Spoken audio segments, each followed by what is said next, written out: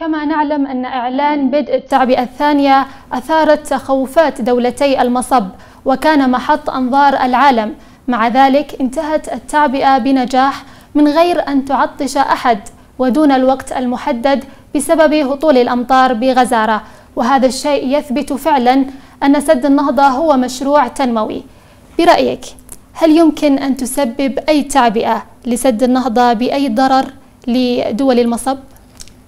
نعم. آه طبعا آه في البداية أثيوبيا طلبت من دول المصب يعني في خلال المفاوضات طلبت منهم أن يكون الملء آه الخزان السد في خلال أربع سنوات فقط أو ثلاث سنوات لأنها تعلم مقدار الفيضانات ومقدار الأمطار التي تهطل يعني والفيضانات التي تحدث كما كما رأينا يعني عدة مرات السودان يعني تضرر من تلك الفيضانات. فالسودان فأثيوبيا طلبت أن يملأ الخزان في خلال ثلاث سنوات أو أرب... لأربع سنوات. ودول المصب رفضوا آه وطلبوا من أثيوبيا أن يكون الملء في خلال سبع سنوات وهناك جدول يعني متفقين عليه اللجنة الفنية لمفاوضات سد النهضة آه وافقوا أو وضعوا جدول للملء وهو الملء الأول والثاني أن يكون في مرحلة المرء الأول أن يكون في مرحلة مرحلتين المرحلة الأولى السنة الأولى يعني تملأ أثيوبيا حوالي 5 مليار يعني 4.9 مليار متر مكعب والملء الثاني أن يكون حوالي 13 مليار متر مكعب. والمرحلتين هي تعتبر التعبئة الأولى. وهذه التعبئة الأولى هي تعبئة ل يعني لتجربة خز... لتجربة السد. وبالتالي مصر والسودان يعلمان تماما بأنه التعبئة لا تضر بهم. وهم متفقين على الجدول كما قلت لك كما قلت لك سابقا يعني الجدول التي وضع وضعته اللجنة الفنية من الثلاثة دول يعني أثيوبيا والسودان ومصر. الثلاثة دول شاركوا في وضع هذا الجدول. وتم الاتفاق به نعم. قبل بدء التعبئة. نعم. ولكنهم يجبرون أثيوبيا أن يعني توقف التشييد حتى. يجبرون أن توقف التشييد نعلم إنه تشييد يعني السد هو سد مائي يعني سد سد كهرومائي وبالتالي لابد من اثيوبيا ان عندما تشيد وعندما يرتفع السد بالتالي هناك كمية من المياه تحجز خلف السد. هم يريدون من اثيوبيا ان توقف الملء والتشييد أثيوبيا اوقفت الملء والتشييد هذا يعني إنه خسارة لأثيوبيا أكثر من مليار دولار مليون بليون دولار يعني إذا أوقفت فقط لسنة واحدة. وهم يري يعني يريدون أن أثيوبيا أن توقف التشييد وبالتالي وتبدأ بعد الموافقة أو كما يقولون بعد الاتفاق الملزم. وما هو محتوى الاتفاق الملزم؟ لا نعلم. يعني نعلم ما يريدونه هم ولكن اثيوبيا لا توافق على تلك على ذلك الاتفاق الملزم. فرأينا في البداية الملأ الأول ارتفعت أصوات المصريين ارتفعت الأصوات وكذلك السودان السودانيين ارتفع في الإعلام وضجة فعلوا ضجة كبيرة كما سمعنا وإنهم سوف يعني اثيوبيا تريد أن تعطش مصر ويعني الملء سوف يؤثر وكذا وكذا. سمعنا كلام كثير لكن للأسف يعني للأسف اليوم يعني بالنسبة لكلامهم هم كانوا كاذبين وظهروا أمام شعبهم بأنهم كاذبين وأمام العالم. ليس فقط شعبهم أمام العالم أيضا بأنه كانوا يدعون بالعطش ولكن لم يعطشوا. بل السودان تعرض للفيضانات السنة السابقة. فيضانات كانت مؤلمة. وكذلك في الملء الثاني أيضا سمعنا إنه آه وزارة وزيرة الخارجية السودانية مريم الصادق تقول إنه 20 مليون وكذلك 20 مليون من السودانيين سوف يتأثرون بالملء الثاني. سمعنا إنهم يقولون ذلك وكذلك البروفيسور ياسر عباس وزير الري السوداني كانوا آه يعني يتكلمون عن إنه أثيوبيا تؤثر على 20 مليون من سكانهم وسدودهم سوف تتأثر وسوف يعطشوا كده وكذا. ولكن ولكن لحسن الحظ لأثيوبيا آه إنه لم يحدث ذلك. أثيوبيا ملأت الملأ الأول والثاني ولم يكن هناك أي ضرر ولا للسودان أو أو, أو مصر هم يعلمون تماما إنه لا لا يوجد ضرر. ولكن آه أيضا آه يعني ال ال ال ال التعبئة رأينا أنه التعبئة لم تؤثر على مصر والسودان بل كان هناك فيضانات في في, في السودان تأثر الشعب السوداني كثير الشعب السوداني الشقيق نأسف لذلك آه ونأسف للفيضانات التي حدثت في السنة السابقة وهذه السنة. بالتأكيد. نعم نأسف لتلك يعني الضحايا للضحايا ولل ولفقدانهم لبيوتهم وكذلك. آه ولكن آه يعني ثبت إنه سد النهضة لا يؤثر على السودان ومصر. بالتأكيد. آه دكتورة مكة ما نوع الاتفاقية الإلزامية التي يريدونها دولتي المصب وما آثارها على أثيوبيا إذا تم إذا وقعت بها أثيوبيا؟ الاتفاقية الملزمة التي يطلبون مصر والسودان من أثيوبيا أن توقعها هي أن تعترف لهم بحصصهم المائية أو أن يعني في أن تسترجع الاتفاقيات الاستعمارية؟ الاتفاقيات الاستعمارية التي كانت عام 1929 وكذلك الاتفاقية التي كانت بين مصر والسودان عام 1959 يعني هم يريدون من من أثيوبيا أن يعني تمنع أو أن توقع لهم بحصتها الصفر يعني. أن توافق على إن على أن لا تستخدم مياه النيل حاليا أو كذلك الأجيال الأجيال القادمة أيضا سوف يتأثر بتلك الاتفاقية. إذا أثيوبيا وقعت على تلك الاتفاقية الأجيال القادمة سوف تتأثر كثيرا لأنه هناك توقعات. يعني في عام ابتداء من 2025 هناك حيكون هناك كما نعلم هناك تغيرات في البيئة. صحيح. يا وهناك كذلك هناك شح للمياه وبالتالي في الأعوام القادمة كل وهناك زيادة سكانية كما نعرف يعني الشعب الأثيوبي حوالي 100 مليون أو أكثر من 110 مليون وكذلك سيتضاعف هذا الرقم ومصر أيضا وجميع دول حوض النيل سيتضاعف عدد السكان. كلما تضاعف عدد السكان هناك رغبة في الاستخدام لمياه النيل. أكيد حيكون في رغبة في استخدام مياه النيل من كل دول حوض النيل. وزيادة الاستثمار نعم تنمية المحاصيل الزراعية. نعم. وبالتالي مصر والسودان يريدون أن يربطوا استخدام مياه النيل بمفاوضات سد النهضة. وأثيوبيا ترفض ربط استخدام استخدامات مياه النيل بمفاوضات سد النهضة. لأنه إذا كان هناك يعني إذا أثيوبيا عليها أن توقع فبالتالي كل دول حوض النيل عليهم أن يعني يشتركوا في, يشتركوا في تلك المفاوضات يا صح. عليهم أن يشتركوا لأنه مياه النيل أو يا مياه النيل تأتي هناك 11 دولة حوض النيل يا 11 دولة تشترك في حوض النيل وبالتالي دائما اثيوبيا تدعي أو تدعو تلك الدول أن يكونوا أن يشاركوا في المحاصصة في مياه النيل. وهناك طبعا منصة لمحاصصة مياه النيل أو اتفاقية مياه النيل. وهي اتفاقية عنتبي وبالتالي تلك هي المنصة الصحيحة ل يعني للحد للتفاوض حول مياه النيل. ولكن سد النهضة هي مفاوضات سد النهضة لم يكن منصة يعني صحيحة أو يعني منصة لم يكن المفاوضات مفاوضات سد النهضة هي تختلف عن مفاوضات مياه النيل. هذا رأي أثيوبيا. ولكن دائما موقف أثيوبيا خلال مفاوضات سد النهضة أينما كانت في الاتحاد الأفريقي تستند على القانون الدولي وأيضا آخر اتفاقية تم التوقيع عليها وهي اتفاقية إعلان المبادئ. لذلك أثيوبيا عندما تتخذ أي خطوة أو أي قرار تبعا للقانون الدولي وليس لأنها أرادت. وهذا عكس ما نراه من دول المصب في سعيها لفرض الأمر الواقع على أثيوبيا.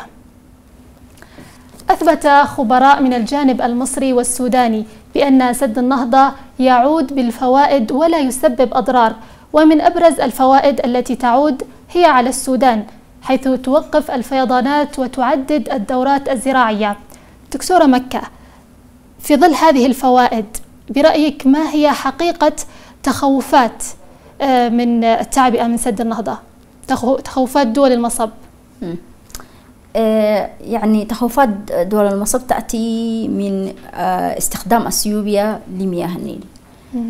يعني اثيوبيا إلى الآن لم تستخدم مياه النيل يعني كثيرا. نعرف إنه ليس هناك مشاريع مشاريع زراعية بالري. لأنه سد كهرومائي نعم يعني حتى مياه النيل عامة لم تستخدمها أثيوبيا إلى الآن يعني ما عدا يعني هناك سدود صغيرة في منابع النيل. غير ذلك أثيوبيا لا تستخدم مياه النيل. فمخاوفهم يأتي من التنمية التي سوف تحدث بعد بناء هذا السد في أثيوبيا. يعني إذا هنا إذا كان هناك توليد الكهرباء وبالتالي حيكون في صناعة ويكون الشعب الأثيوبي يعني حيستخدم مياه النيل للري وبالتالي سي يعني يتطور اقتصاديا. يا بيكون تطور. فتقل هيمنة مصر بالذات هيمنة مصر بمياه النيل ويكون يعني هي مصر لا ترى ترى دول حوض النيل بالتعالي يعني. وكأنها يعني هي المهيمنة وهي الآمر والناهي في مياه النيل. فمصر هذا هو تخوفها لأنه أثيوبيا تطلب بالاستخدام العادل لجميع دول حوض النيل ومصر تريد الهيمنة. هذا هو يعني الخلاف الأساسي بين مصر وأثيوبيا. أثيوبيا دائما هي شعلة لدول أفريقيا دائما حتى في الاستعمار. اثيوبيا لم تكن مستعمرة وبالتالي صحيح. هي يا هي يعني مصدر قوة لأفريقيا وهي الشعلة ومنارة أفريقيا كما نعلم وهي ساعدت يعني أثيوبيا الإمبراطور هيلي سلاسي يعني ساعد كثير من الدول الأفريقية في في إنهم يستقلوا من دول الاستعمار أولهم نيلسون مانديلا يعني ساعده كثيرا جنوب أفريقيا. وبالتالي وكثير نعلم إنه كثير من الدول الأفريقية يستخدموا يعني الألوان الثلاثه الأثيوبية الأخضر والأصفر والأحمر في في أعلامهم. هناك 13 دوله أفريقية على ما أعتقد يستخدمون هذه الألوان مثل السنغال وغانا على ما أعتقد وكثير من دول غرب أفريقيا يستخدمون هذه الألوان وبالتالي مصدر ومصدر قوة للأفارقة. كونها أثيوبيا. أيضا مقر الاتحاد الأفريقي نعم. وتحتضن العديد من الدول الأفريقية. نعم. صحيح. قبل من قبل يعني السبب اللي خلى أثيوبيا أو أديس أبابا تكون مقرا للدول للاتحاد الأفريقي لأنه هايلي سلاسي هو الامبراطور هايلي سلاسي هو المؤسس للوحدة الأفريقية. مع يعني هو المؤسس وبالتالي وهو اللي ساعد الدول الأفريقية كثير من الدول الأفريقية ضد الاستعمار وبالتالي وكذلك أثيوبيا لم تكن مستعمرة ودحرت القوات الاستعمارية كما نعلم يعني الإيطاليين في عدوى وبالتالي هي شعلة. وأيضا الآن أثيوبيا يعني تريد تريد أن تكون نواة للتحرر من هيمنة مصر للتحرر لتحرر جميع دول حوض النيل من هيمنة مصر. وهي تكون نواة وفعلا هي التي بدأت وجمعت دول حوض النيل أن يكون هناك منصة يعني يتفاوضون في الاستخدام العادل لمياه النيل. طبعا هناك وثيقة وثيقة الأمم المتحدة التي وقعت عام 1996 تقريبا. في استخدام استخدامات المياه العابرة للحدود في هذه الوثيقة الوثيقة تنص على ماذا؟ تنص على الاستخدام العادل والمنصف لمياه للمياه العابرة للحدود ولم تقر الاتفاقيات الاستعمارية بالذات في المياه يعني حتى الاتحاد الأفريقي أقر بالحدود التي وضعها الاستعمار ولم يقر باستخدام المياه أو بالاتفاقيات في الاستعمارية التي كانت حول مياه العابرة للحدود. الآن ننتقل إلى موضوعنا الآخر وهو حول الضغوطات الخارجية المستمرة من دول المصب على أثيوبيا. طبعا الفاعل الرئيسي وراء الضغوط الخارجية غير المبررة التي مورست على أثيوبيا من مختلف الجهات هي مصر التي تحاول الحفاظ على هيمنتها على النيل الأزرق باستخدام دبلوماسيتها القوية، لكن إثيوبيا معها الحق، هل يمكن أن تروج إثيوبيا للحقيقة من خلال الدبلوماسية؟ دكتورة مكة، كيف تقيمين الدبلوماسية الإثيوبية؟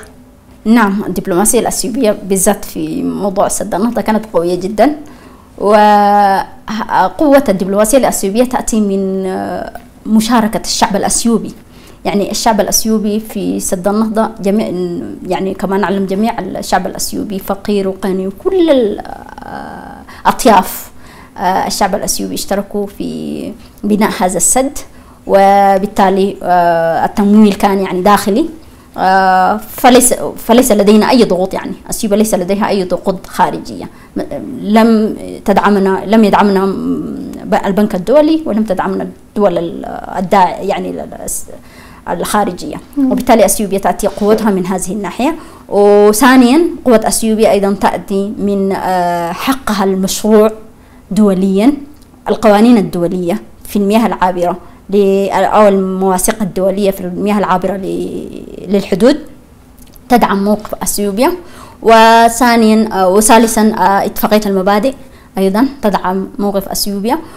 فبالتالي الدبلوماسية الأثيوبية كانت قوية جدا جدا. كما يعني كما نعلم من قبل اثيوبيا مصر ذهبت إلى أمريكا إلى واشنطن وكان يعني اثيوبيا قبلت بالوساطة الأمريكية. ولكن للأسف أمريكا كانت منحازة تماما يعني منحازة مع مصر.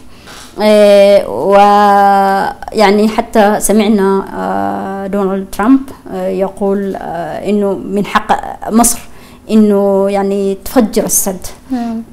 يعني سمعنا كلام يعني أغضب الشعب الأثيوبي. صحيح. آه وكذلك آه البنك الدولي أيضا كان داعم لموقف مصر. فكل الدول يعني الغربية دعمت آه موقف مصر. آه نسبة للعلاقة العلاقات الخارجية المصرية آه يعني مع تلك الدول آه لأنه آه يعني مصر يعني تعتبر المنفذ آه قناة السويس وكل الدول تستخدم قناة السويس وبالتالي عليهم وكذلك علاقة الشرق الأوسط مع إسرائيل. مصر هي التي يعني لديها علاقة وطيدة مع إسرائيل وبالتالي والدول العربية وبالتالي هم يدعمون مصر من هذه الناحية يعني. لكن أثيوبيا ويضغطون على أثيوبيا. صحيح. لكن أثيوبيا لديها الحق. فبرأيك كيف تستطيع أن تروج للحقيقة من خلال استخدام الدبلوماسية؟ نعم أثيوبيا استخدمت الدبلوماسية الشعبية يعني الشعب الأثيوبي أيضا شارك. وكذلك الدبلوماسية الأثيوبية كانت قوية جدا.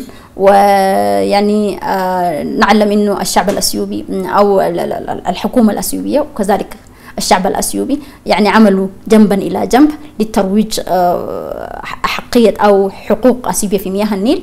ويعني كثير من الدول أصبحوا الآن في البداية كانوا مع مصر ولكن الآن أصبح جميع أغلب الدول يعني أغلب الدول يعني أقرت بحقية اثيوبيا في مياه النيل في استخدام مياه النيل. الدليل على ذلك إنه مصر والسودان ذهبوا إلى مجلس الأمن مرتين وفي المرتين نعم. في المرتين الدبلوماسية الأثيوبية هي التي كانت هي التي فازت, فازت. وتم رفض الطلب. تم يا وتم إرجاع الملف إلى الاتحاد الأفريقي. صح. دائما اثيوبيا تؤمن بالحلول يعني المشاكل الأفريقية؟ يا بالمشاكل الحلول الأفريقية للمشاكل الأفريقية. صحيح. ودائما تدعم الأفارقة وتدعم إنه المشاكل الأفريقية تكون تتحل لأنه المشاكل الأفريقية لا يمكنها أن تحل يحلها الغرب لأنه لا الأفارقة هم الذين لديهم أو يعرفون ما يحدث داخل أفريقيا. والنيل هو أفريقي طبعا موجود في أفريقيا وبالتالي يعني لا لا يصلح أن تحل مشاكل الدول الغربية. في المرتين كما نعلم مجلس الأمن عاد الملف للاتحاد الأفريقي وهذا ما كانت تدعو له أثيوبيا دائما. صحيح. وبالتأكيد يجب أن يكون هناك مسعى قوي من أثيوبيا لتسويق الحقيقة والاطلاع بدبلوماسية مهنية. كما نعلم دكتورة مكة قبل فترة قدمت تونس لمجلس الأمن قرار تدعو فيه أثيوبيا لوقف ملء سد النهضة.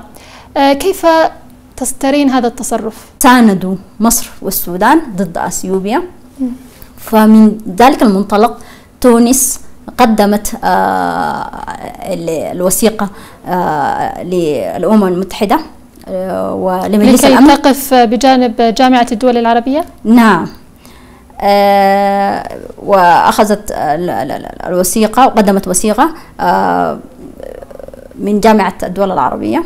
تونس قدمت وثيقة للأمم المتحدة أو مجلس الأمن. تطالب به آه أثيوبيا وقف الملء الثاني.